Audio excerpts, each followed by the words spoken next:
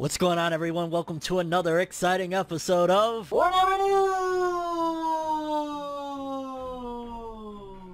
In today's episode, we've got some stories to talk about. For starters, we got a massive update for the Boruto Naruto Next Generation's anime, in particular some episode titles and a little information on those episodes for May that if you're a manga reader, you know what's up. If you're an anime only, you're about to know what's up because, yeah, it, it's about to be fire, flames, Fuego! Next up, we got a story on Fire Force taking a massive win, being nominated for a big award from Kodansha, so we'll be getting into that one. Small update for the One Piece manga incoming. We got confirmation that a certain manga that we talked about in one of the recent episodes of Fornever News will be coming to an end, is basically cancelled, coming to an end from Shonen Jump. We'll talk. We got a story for an anime that has a very controversial trailer, uh, or it's been announced that this series is getting an anime. Tesla note, and there's a trailer for it, and you're gonna understand why I'm telling you, oh shit, this is controversial is uh, a easy word to put it, I guess you could say. We'll, we'll, dive in. We got a spicy story, very, very spicy, from one of the co-founders of Ghibli. And uh, yeah, something he said about Miyazaki, the legendary anime director. A lot of people were like, whoa, that's a, a little spicy at the mouth there, fam. Miyazaki's a legend, but yeah, we're gonna talk. Got an update for the author of the Rikudo manga. He's starting a new work, so we're gonna talk about that one a bit. We also got an update on the quintessential Quinn quintuplets, the sales figures for that one. Y'all know the quintessential quintuplets is a huge one. If you've been following my updates on, you know, the sales and Shonen Jump and things like that, it's been massive. And yeah, the quintessential quintuplets doing big numbers or did big numbers because it's over now. We got a couple of updates in particular. One is more personal regarding the Seven Deadly Sins author. Yeah, we're going to talk because some of the author comments he's been saying lately, um, just seems a little worrisome for me, honestly. So yeah, I, I, wanted to address it. We will talk. We talked recently about Shueisha's highest print run volumes. Uh, well, let's talk Shogakukan. They're the publishers behind like uh, Case Closed and things like that. So we're going to take a look at their list. Unless you've been living under a rock, then you know that Attack on Titan has come to an end. We got a little bit of a story on that one alongside a message from the magazine, Bessatsu magazine that publishes Attack on Titan. A special message they brought forth with the final chapter. Yeah, we're, we're going to take a look at that. And an update for the Tokyo Revengers anime, an episode count in particular. So yeah, a ton of stories with this episode. Without further ado, people, let's jump into another exciting episode of Fornever News! The only news source that provides anything and everything anime and manga related. And we don't bore you, we get into it. Let's do it. No matter how you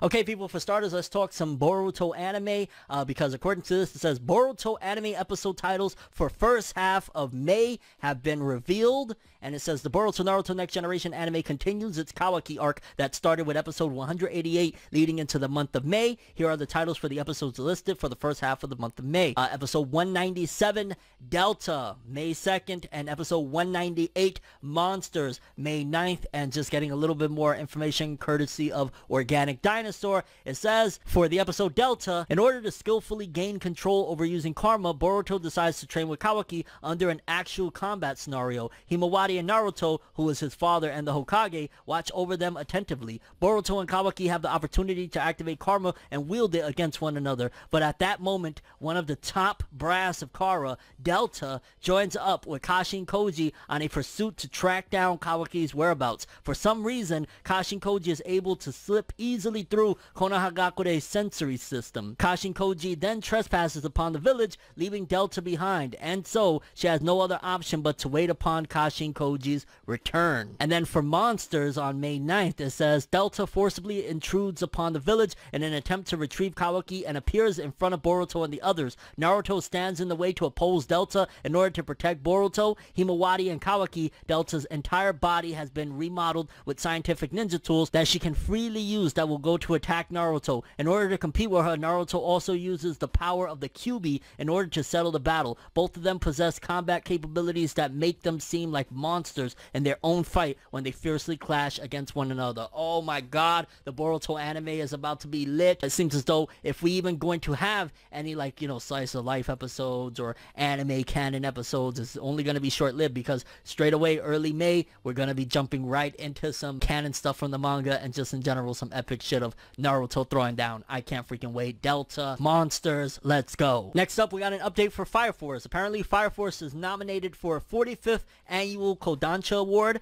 Kodansha is holding its 45th annual award ceremony to honor some of its top manga series. Fire Force was among the fray of nominees for Best Shonen Series. The three remaining nominees for the category are Blue Lock, Sousou no Frieren, which I believe we just talked about that one recently, and that time I got reincarnated as a slime. Now, to be honest with you, the one that I'm really familiar with out of that list is Fire Force in terms of like, I- I've seen a decent amount of it and I've read a, a little bit of it, um, but I've heard a lot of big things about Blue Lock, and that time I got reincarnated as a slime is huge. So I could see between those three, Sousou no Frieren, I, I just don't see it winning, but you never know. I could be surprised. Uh, but Blue Lock has a big fan base, and the Slime series, I, I think the Slime series is going to take it. That's just me. I just know that it's really massive, but I'm still rooting for Fire Force, fam. Come on, come through, heat it up. Let's go, Fire Force. I'm rooting for you, fam. Moving forward, we got a small update for the One Piece manga. One Piece manga goes on break. Eiichiro Oda's One Piece manga will be going on break for issue number 20 of Weekly Shonen Jump magazine. The series will return the following issue, 21/22, with a lead color page, which I want to say not this week, but the following week, Shonen Jump is going to be going on break. That's why they're doing a double issue. So yeah, One Piece, it'll be on break, and I think after that, the magazine will be on break. So it'll be a little bit in between One Piece chapters, but yeah, at the very least, we know it's, you know, the standard routine of One Piece going on a break every now and then. Um, I think it's what, every three weeks, every four weeks, something like that, that One Piece goes on a break. But yeah, either way, shout out to Oda, get your rest like always. You've been doing this shit for 20 plus years. The fact that you get a regular break is well deserved, and I'm glad Shonen Jump continues that routine. Moving forward, we talked recently in an episode of Fornever News that it was rumored, highly suggested, that the Toriko author's new manga, Build King, would be coming to an end. It wasn't confirmed or anything like that, but now we got confirmation from the unofficial Weekly Shonen Jump. Uh, but basically it says, Toriko author's Build King manga confirmed ending. Toriko author Mitsutoshi Shimabukuro's latest work, Build King, will be ending in the 19th issue of Weekly Shonen Jump magazine with its 20th chapter. Build King began serialization in the 50th issue, so basically at the 20 chapter mark, and it's only been going since November, Toriko mangaka's new work. It's wild, and I want to do a video at some given point talking about this, but I've noticed a pattern that a lot of veteran authors that tried to return to Shonen Jump have not succeeded, or at the very least when they try to return to do like a regular serialization. Obviously, the creator of Bleach, he came back, but with like a small little mini series of four chapters, so you cannot count that against people that are trying to be there for years upon years. Naruto creator tried it with Samurai 8, it failed. We got the Toriko author coming back. We've had quite a few, you know, the Kuroko no Basket author tried with that Ro- Robot X laser beam. That didn't work. I mean, Satoshi's uh, Build King. Again, I've heard a lot of bad things about it. I enjoyed the first couple chapters, but I never liked seeing that because it's kind of like a stain on their record. Like, you know, he had a massive series Toriko, huge anime crossovers with One Piece and Dragon Ball Z, an anime crossover with Dragon Ball Z. Like, that's insane. So to come back and only last for 20 chapters, about half of what Kishimoto's Samurai 8 did, not good. Not good. Hopefully Shimabukuro comes back and gets back on his feet and does something big. But yeah, Build King coming to an end with its 20th chapter. Next up, okay, a little bit of controversy for a series called Tesla Note. Apparently Tesla Note by the author of Tiger and Bunny gets a TV anime. Now Tiger and Bunny, I want to say it was around early 2010s, maybe like 2013, 2012. That was very, very big. I remember just seeing it everywhere on Neon Alley. If you don't know what Neon Alley was, it was a streaming service by Viz Media that was like available, I think, on like the PlayStation 3 and the Xbox or something like that. But yeah, Tiger and Bunny was very, very big. And apparently the author of that has a new series called Tesla Note. And according to this, it says, on Wednesday, it was announced by Kodansha that Tesla Note, the manga by Masafumi Nishida, Tadayoshi Kubo, and Kota Sannomiya, would be receiving a TV anime adaptation set to be released in 2021. And, you know, that's great, all fine and dandy, except, and I've seen the trailer myself, to be honest with you, the trailer uh, showcased the anime, and if you've seen or heard of X Arms, the Crunchyroll original anime, it basically looks like a fancy PS2 game cutscene. Like, that's what it looks like. So, a lot of people are very upset with it. I saw the trailer and I was like, yeah, I think I'm gonna stay away from this one.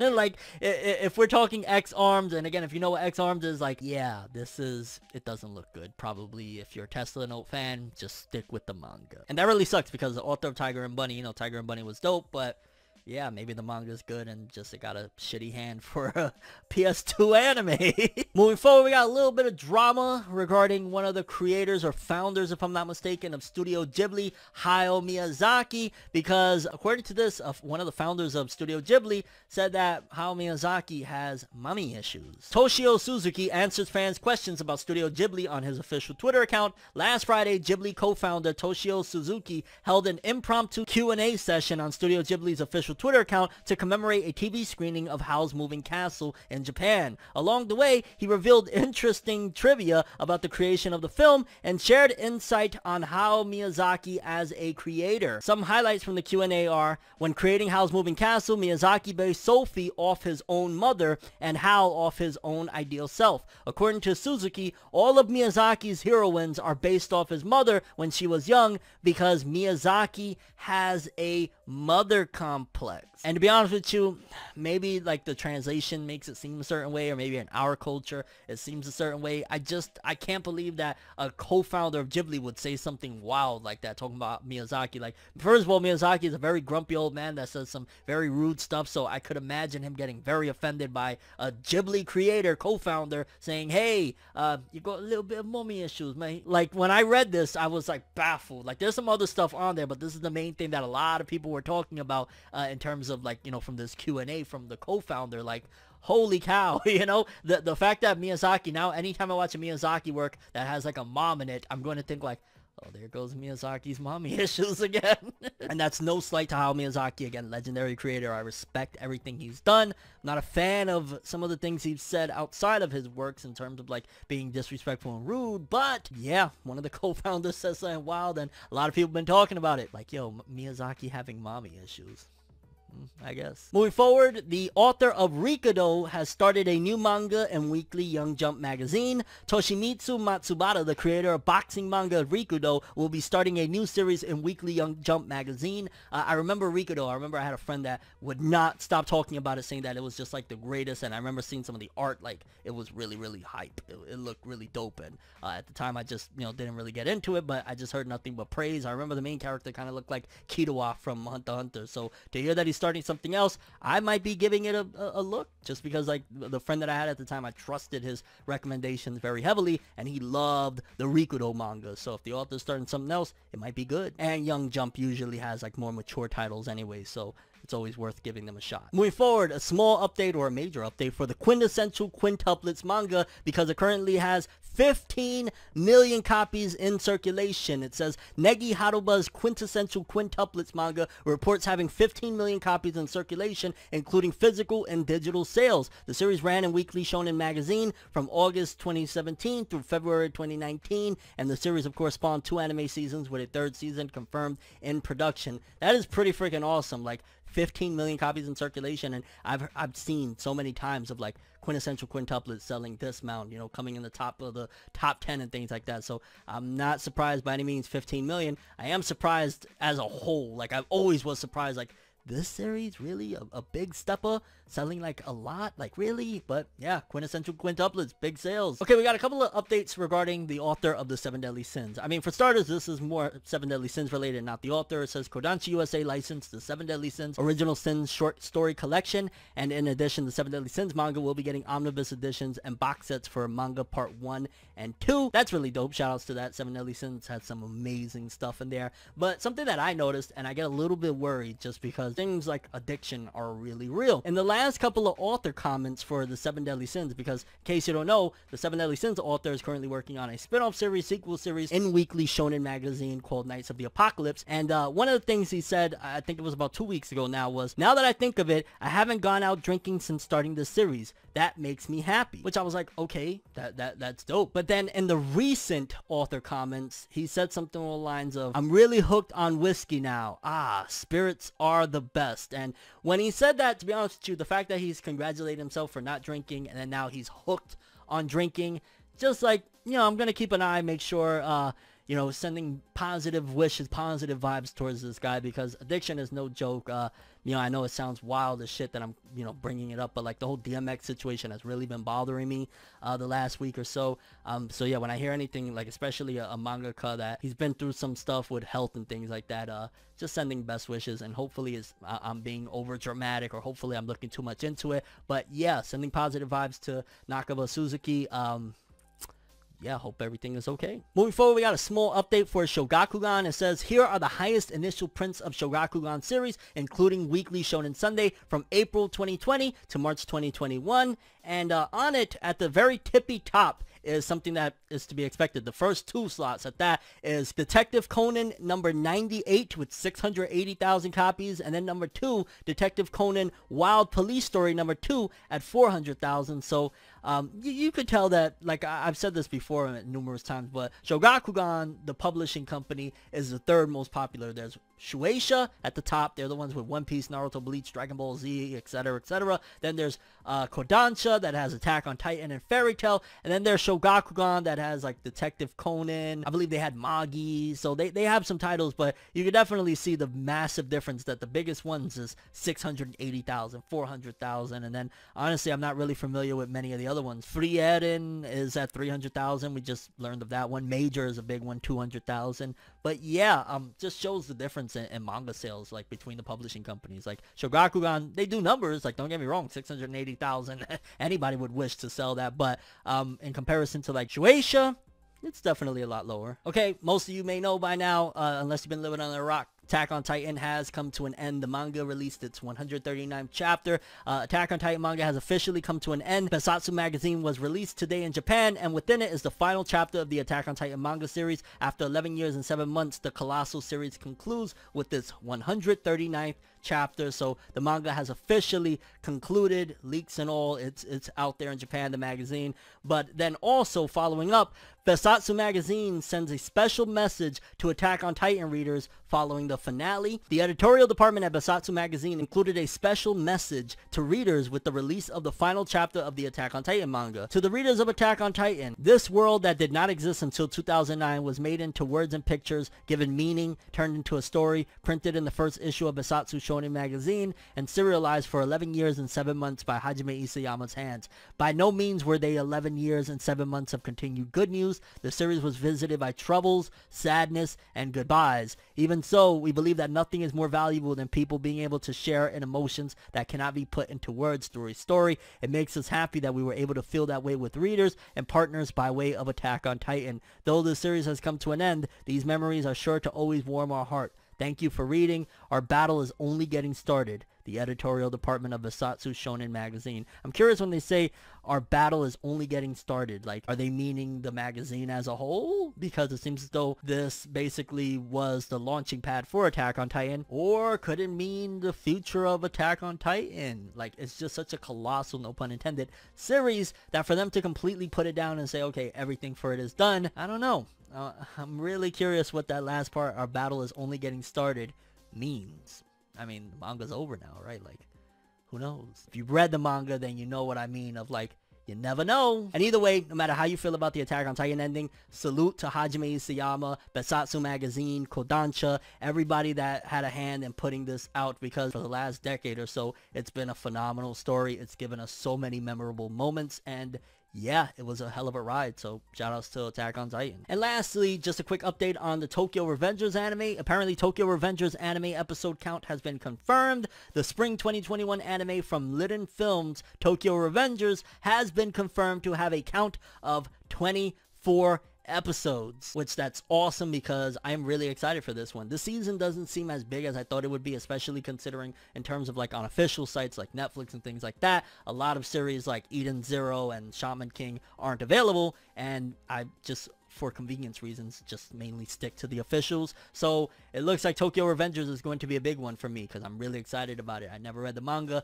so I'm looking forward to that one and Megalobox, but that's a different story. So yeah, 24 episodes. Here we go. People, we also got a story on Black Clover. Yes, I'm so excited to talk about this, be honest with you, because with the Black Clover anime ending with episode 170 on, it was March 30th if I'm not mistaken, a lot of people were like, yo, what's going to happen with Black Clover's manga? Is it going to start going down? At the very least, we know for now, it is doing pretty well. According to this, it says Black Clover cracks top 10 most sold manga series of the week. The sales tracking site Oricon released its chart for the top 10 most sold series for the week of March 29th through April 4th. This also includes back catalog volumes. Despite several major series making the list, Black Clover's manga managed to crack the top 10, coming in at number 9 with 86,255 copies sold, which I've heard that there were several issues with every series at that. So this number probably would have been a lot larger, which we'll talk about in the next one when we get the next updated sales of how much the numbers are going to be for that week because again, I heard there was a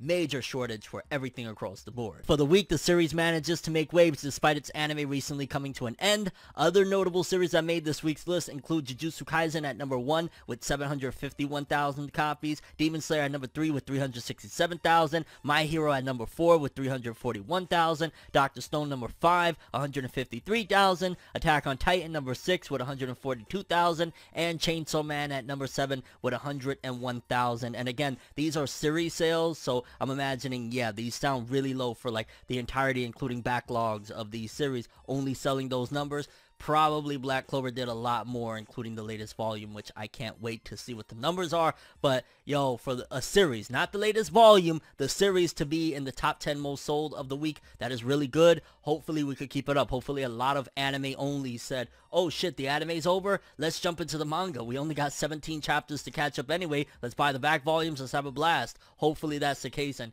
Black Clover top 10, baby, let's go, alongside, because this list is elite. I'm not even gonna lie, great manga all across the board, from Jujutsu Kaisen, My Hero, Demon Slayer, uh, Chainsaw Man, great stuff there, and shout out to Black Clover, number 9 out of 10, great stuff. Okay, people, quick update. So the author of Tokyo Ghoul on Twitter, within like the last hour as I was editing this video, posted an amazing, immaculate art piece of Eren Yeager from Attack on Titan. I'd imagine this is an honor and celebration of Attack on Titan manga's ending. And fam, this just looks absolutely freaking insane. But the author Tokyo Ghoul is one of the greatest artists out there, and this just looks freaking amazing. So major shout outs to Sui Ishida. That's really, really awesome. Like, I just had to include this in here because, yeah, th- this just looks insane. And Sui Ishida on that pen game still. He ain't lose a beat. Hopefully he comes back with a new series soon. And I'm curious what you guys think about all the stories we covered in today's episode. Boruto anime episodes coming in May. Are you hyped for that big Naruto versus Delta fight? Uh, Fire Force getting nominated for a Kodansha 45th Award. Dope stuff. One Piece manga going on break. Your thoughts? Build King confirmed ending.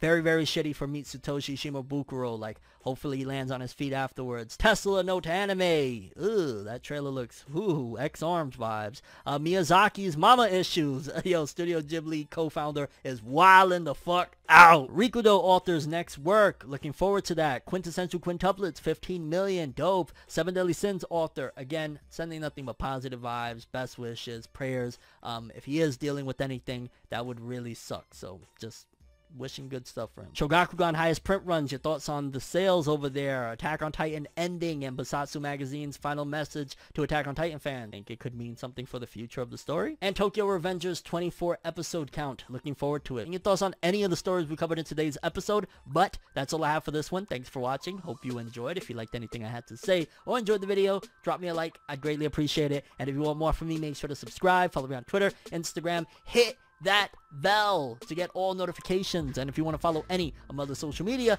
links are in the description below. I'm Fornever World, and as always, people, have an awesome day. And remember the golden rule Anime and manga. for life, boy. Have an awesome day. Peace in. And you guys just watched another episode of... Fornever news. Have an awesome day.